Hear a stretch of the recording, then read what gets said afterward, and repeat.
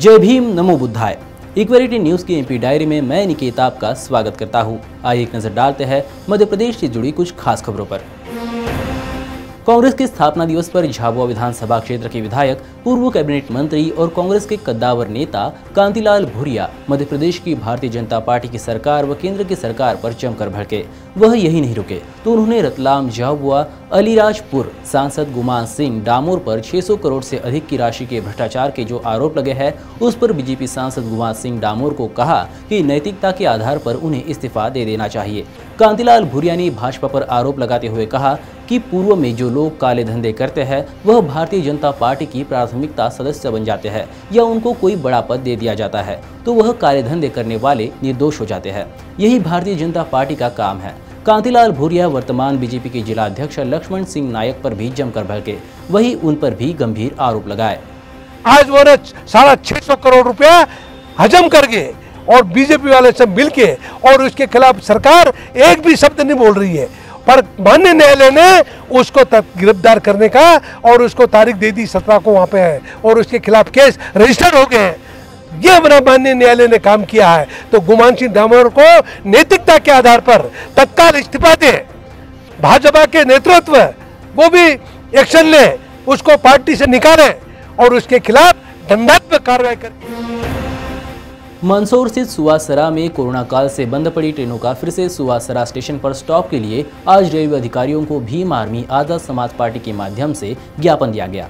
ज्ञापन में ये मांग की गई कि सात दिनों के भीतर मामले का निपटारा नहीं हुआ तो Bhim army Samaj party rail रोको आंदोलन चलाएगी। वैसे ये ज़रूरत सिर्फ़ पार्टी कार्यकर्ताओं की नहीं तो सामान्य जनता की भी है। जिसका जितना जल्दी हो सके निपटारा किया जाना चाहिए। मंदसौर से दीपक बसेर की रिपोर्ट, इक्वेलिटी न्यूज़ के लिए। Ashatit Vidya Niketan higher secondary school, Jayaprakash Nagar, Dewas के वार्ड नंबर 18 एवं 19 में स्कूली छात्र छात्राओं और शिक्षक शिक्षिकाओं के साथ स्वच्छता की पहल की गई। जिस दौरान स्कूली छात्र छात्राओं एवं स्कूली स्टाफ ने रैली के माध्यम से सफ़ाई जागरूकता पूरे शहर एवं प्रदेश में देकर एक मिसाल कायम की।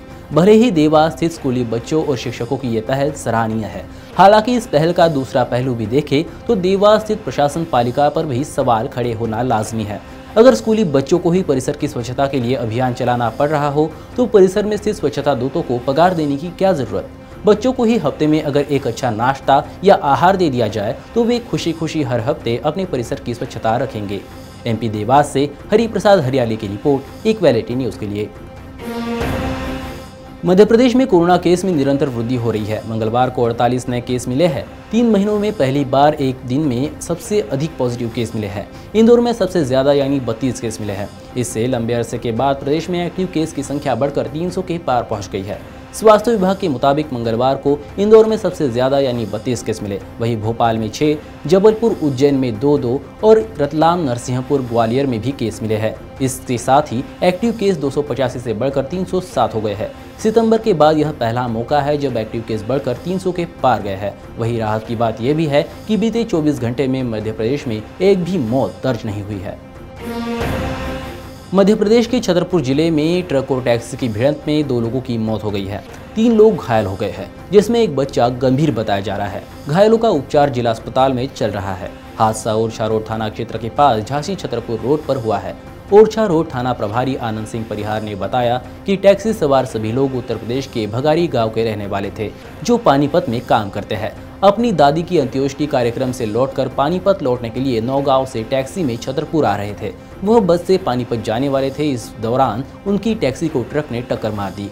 ट्रक क्रमांक H R three eight U four three three zero और taxi number M P one six R one nine eight three के बीच जोरदार भिड़ंत हुई।